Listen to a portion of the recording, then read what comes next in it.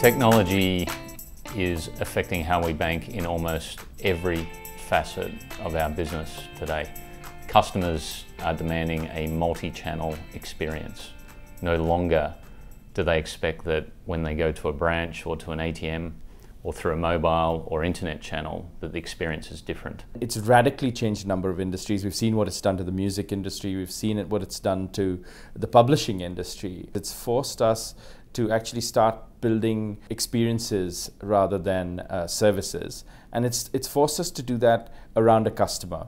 We have an increasingly digitally oriented customer who expects that the level of technology innovation, user friendliness in design is the same as what they experience in their day-to-day lives. It is very, very important that we learn how to plug into the ecosystem that customers live in. Their worlds are a highly integrated world, and that has a huge impact on us. The single most uh, powerful and impactful thing I think banks can provide their customers is great intelligence and insight into their finances. There's no question that our ability to be able to offer a differentiated, personalised banking experience is going to depend largely on the way we tap into that data.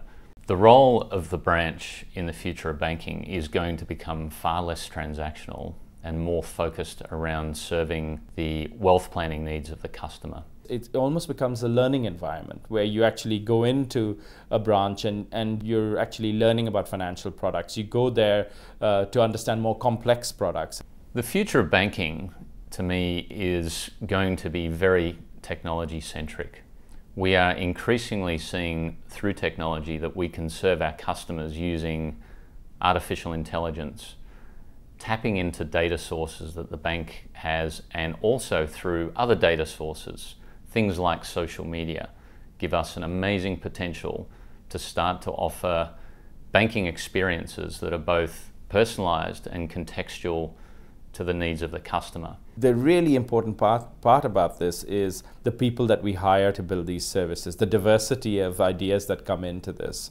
That is something uh, we have not been known for as an industry, but I think that is what we will be defined by, at least the successful players will be defined by um, in the next decades to come.